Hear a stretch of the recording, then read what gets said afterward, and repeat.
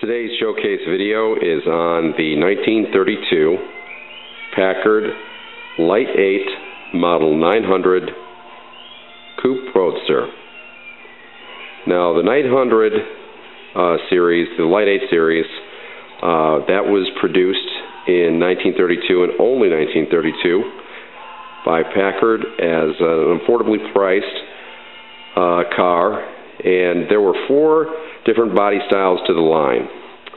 Packard's idea was that they could build a smaller wheelbase, lighter car that was more efficiently engineered, and thus they could make it more affordable to the public. The only problem with that was that uh, the base price of the car was about $2,600 in 1932. But for $2,600, you could also buy five Ford V8 cars. So, uh, with that said, if you were to take that in today's money, uh, that would be about $125,000, which is uh, quite a sum for a car. Uh, well past uh, your Mercedes Benz and your Audis and uh, you know European cars of that nature. To go on with this car, I'm going to talk about some of the details uh, relevant to the Light 8 and what makes it special, and also highlight the features of this particular example. Probably the most distinguishing feature of the Packard Light 8s was what they call uh, the shovel nose grill. Now, this is a elegantly tapered and sloping grill that uh, descends from uh, vertical all the way down to a really uh, attractive uh, tapered point right between the frame rails, uh, the frame horns actually, and uh, the body style is a little shorter. Um, another detail that is characteristic of these light eights is the three louvers on each side of the hood the big brothers of the Light 8s, the Standard and the Deluxe 8s, had the uh, four louvers on either side of the hood, and then the big 12s, the peak of the uh, models that uh, Packard offered uh, in 1932, they were called the Twin Six. Uh, the Twin Sixes had six louvers on either side. Now, as we continue on with the details of the Light 8. Another detail about the uh, Light 8 series uh, in terms of the performance is the engine, uh, which was rated about 110 horsepower. The uh, Standard and Deluxe had about 135 horsepower, and then the top of the line, Twin Sixes for 1932, had about 160 horsepower.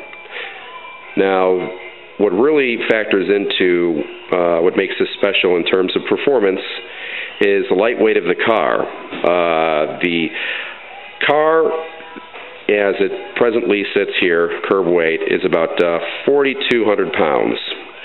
Now, the owner, the original uh, purchaser, when the car was bought new, had a downdraft carburetor installed, which netted about another 10 additional horsepower, bringing it to 120. And then the current owner uh, installed a distributor uh, with precision action that uh, netted an additional 10 horsepower, bringing the total horsepower for this car to 130. Now, with a curb weight of 4,200 pounds and 130 horsepower, this was more efficient than the Deluxe 8 Coupe Roadster, which would have been about uh, 4,800 pounds, maybe even a bit more with the side mounts. Uh, so we're talking about uh, 5,000 pounds. And with that, you're talking about 130 horsepower, 135 horsepower. Now, at the very top of the line, uh, the Twin Six Coupe Roadster would have been about 5,500 pounds with the side mounts at 160 horsepower. So right away you can tell if you do a little quick math that this is the most efficient model, uh, power to weight ratio wise, of the Packard line as it stands here on the floor today. So this is a more spirited ride. In addition, the Light 8 also had a more uh, advanced frame design. Uh, they had a X cross member down at the bottom uh, center uh, rail assembly, and then they had a K cross member up towards the front. So it gave you a relatively stiff uh, front end and also uh, stiffness throughout the body, despite the light weight. So you had a, a, a pretty rigid car when it came down to it. Uh, so it would give you uh, definitely a sporting ride experience, sporting driving experience, uh, as you were going about your day motoring.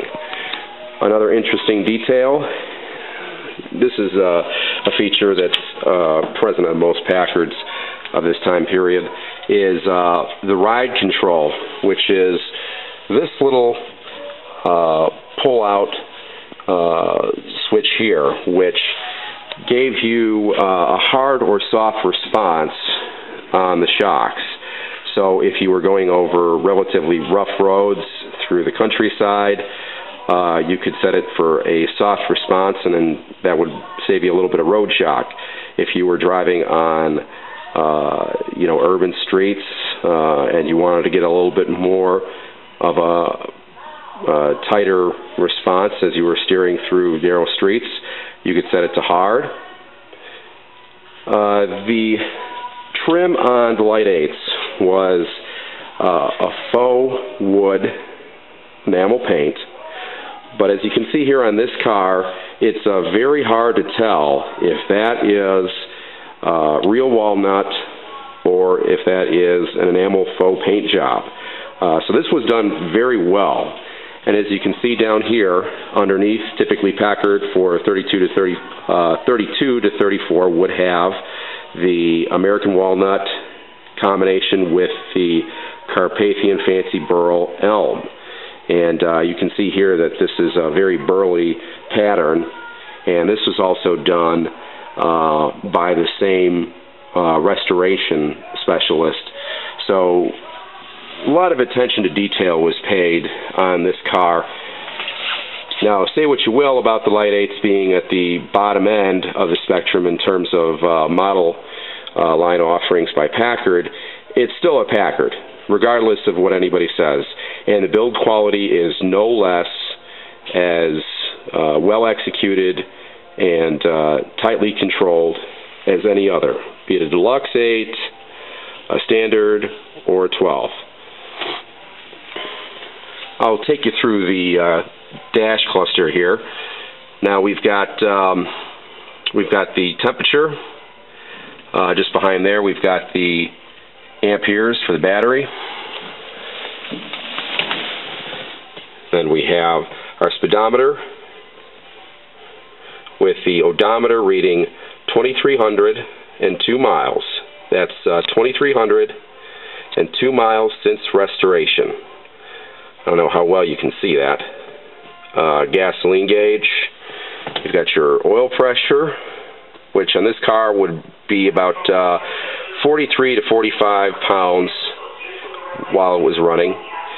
then also a clock in your uh, passenger side glove box, which actually works. A lot of the clocks that we see, uh, you know, in the older cars as they're brought in, regardless of the quality of the restoration, uh, the clocks really never work. Uh, the actions weren't uh, that precise, and you know, it's just old instrumentation. But believe it or not, this clock still works and you can hear it ticking. This car also has turn signals, which is convenient as you're uh, driving on modern day roads. And period correct upholstery. Uh, you can see the pleating pattern here. Uh, if you are familiar with the standard Deluxe 8, it's a little different, uh, but it's correct. And if you uh, are uh, in possession of some old Packard sales literature, typically what they would do is that they would show the upholstery patterns because that was one of the amenities that set the Packards apart from everybody else. Um, they would use top grain leather and really spare no expense at the customer's behest to appoint your vehicle as luxuriously as you wish. Now here we've got our rumble seat, which is standard on the Coupe Roadster. And then you have these leather um, fold-out armrests. Now you would put your arms on these, and these would save you from the discomfort of a hot uh, metal car body in the uh, summer sun if you're riding in the back here. And I'll go down towards the bottom here, and you'll see, well, look at that, a set of golf clubs. Now, that set of golf clubs is there for a reason. The current owner, when showing the vehicle, wanted to draw attention to the golf club compartment, which is pretty standard on most roadsters and convertible coupes, uh, you know, from the luxury manufacturers, whether it be Pierce Arrow or Peerless or Cadillac. You also have the aluminum uh, step plates here for getting into the rumble seat. I'll fold out the other armrest so that you can see the uh, complete ensemble. And then you have a deluxe trunk with folding trunk rack. Now it's going to take both my hands to open this up properly. All right, now that I have the trunk open, I want to draw your attention to this really beautiful brocade cloth lining that's uh, in this trunk.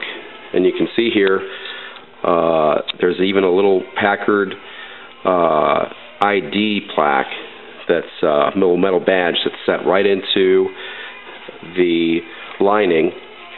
And that is uh, very correct. This is what it would have uh, appeared like if you were to order uh, something uh, this deluxe. Uh, you could have your choice of linings for these trunks, and it really just drew attention to the fact that this is a gentleman's car, a luxury car, and not necessarily, you know, a type of car that you would just throw a bunch of uh, tools or paint and stuff like that in. So, uh, you know, that type of uh, car was relegated to your uh, working class, uh, middle class folks. Now, this car has uh, trickle charger because this is 6 volt, and the current owner would uh, carry that with him when uh, he would show the car and then have it at the concourses. Uh, typically, you know, if you were demonstrating the car or left things on, uh, would be really inconvenient for you to go around just the uh, fairgrounds of the show and ask for a jump. So that uh, would uh, help keep the battery life of the car while it was shown a detail about the coupe roadster bodies that I want to talk about here and why Packard made coupe roadsters and not roadsters um, was because uh, in 1931 they decided to do away with that body style, the roadster body style, as it were, because it uh, it really didn't give you the type of amenity that uh, Packard customers expected, and and that was uh, a full protection from the elements because a roadster, according to you know car styling parlance, is an open-bodied two-position car with no side window glazing. So you didn't have windows. What you had were these uh, canvas, or in modern times, a vinyl see-through. Uh, side curtain. Now, they would typically mount in a little uh, hole, and then they would be supported by a metal frame that went all the way around uh, the window. However, anybody that's driven a car with those side curtains, especially a roadster, and you've had to go through a little uh, spate of cold weather, knows that uh, those things really don't work too well. And they figured this out a long time ago. So uh, Packard engineers decided to uh, do away with that, and they really wanted to give the uh, driving experience uh, no compromises. So they didn't want to expose anybody to the elements, and they wanted to make something that was essentially an all-weather car, but still an open-top two-position or two slash four-position car in the case of convertible roadster with rumble seat. So that's why Packard, from 1932 forward, had the coupe roadsters versus just the plain roadster. Shut the door here. As you can see, you have a very nicely framed, uh, fully deployed glass that fits snug with the top when it's up. And if you're driving around in rain, you don't have to worry about rain seeping through any of the gaps between uh, an old uh, canvas side curtain and the uh, A-pillar of the car. So moving right along, this car's uh, luxury amenities include the deluxe uh, Goddess of Speed hood ornament, which you would have traditionally just had the cap, but this one has the deluxe hood ornament, which is very nice. And at the bottom here, we've got our safety Trippe lights, in addition to our normal spotlights, or headlights rather.